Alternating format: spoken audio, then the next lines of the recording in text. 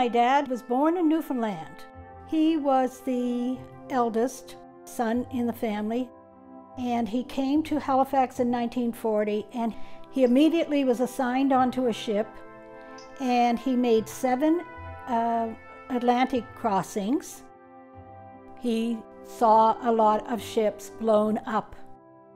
They would have to go silently, no radio contact, and all of a sudden a torpedo would hit a ship.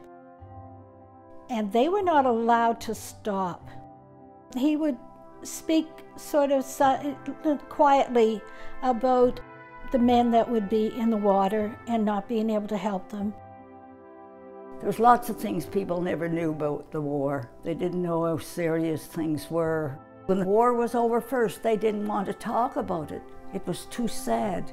It was too, I don't know what he meant by it, but he said we just couldn't open up. It took us years to really tell the stories.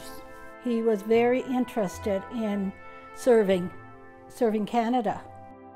And so when you think of someone unselfishly serving and giving their lives for a country to be free, then you know that it's, it is our duty to remember those people.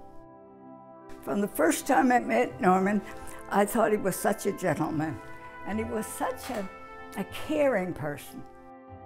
Last Christmas, he wasn't feeling well, but he wanted to give, buy me a watch.